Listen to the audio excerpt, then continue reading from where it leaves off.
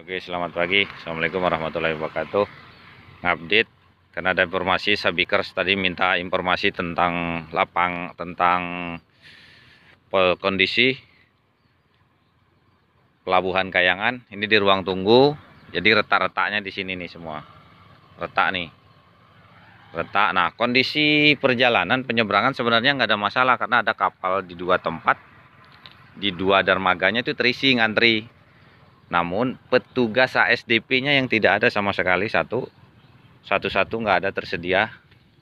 Semua melarikan diri karena konon begitu melihat ini retak tadi malam ada yang nyeletuk bahwa ini tanda-tanda tsunami sehingga semua pegawai, semua pedagang meninggalkan semua dagangannya dan lari menyelamatkan diri dan menemui keluarga tentunya. Nah ini semua kalau kondisi retak bisa lewat karena tadi bis rasa sayang itu ada dari Jakarta ngantri. Ngantri nah itu bisa masuk. Oke nah itu itu ferinya bagus menunggu yang ngisi. Menunggu yang ngisi ada ada dua dua-duanya ada. Dua-duanya. Kalau mengenai retak ya retak semua nih. Retak semua. Kapal Nah, jadi kemungkinan sebentar lagi menjelang siang bisa nyebrang.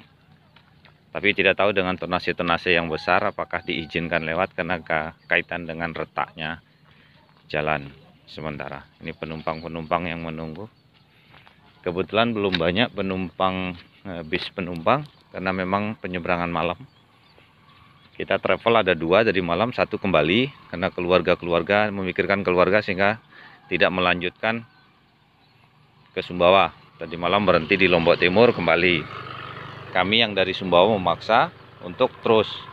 Tapi kenyataannya seperti ini. Jadi semuanya retak. Retak jalan. Itu ada yang ngantri. Semua retak. Nah itu juga ferry menunggu standby normal. Jadi normal. Jadi bagi sabikers yang ingin nyebrang, kemungkinan siang ini bisa nyebrang karena menunggu petugas-petugas ASDP, pegawai-pegawai pelabuhan untuk datang membuka pelabuhannya.